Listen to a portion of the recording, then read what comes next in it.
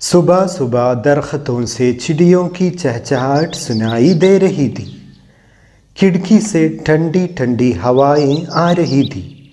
साथ ही मस्जिद से अजान और मंदिर से हरि कीर्तन की सदाएँ भी आ रही थी। जहरा बानो नींद से जाग उठी। हाथ मुँह धोकर सुबह की नमाज़ अदा की।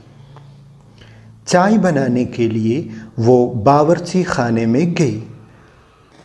उठो अमजद बेटे छह बज गए हैं। जल्दी आओ तुम्हारे लिए गरम गरम चाय तैयार है। अमजद जाग उठा।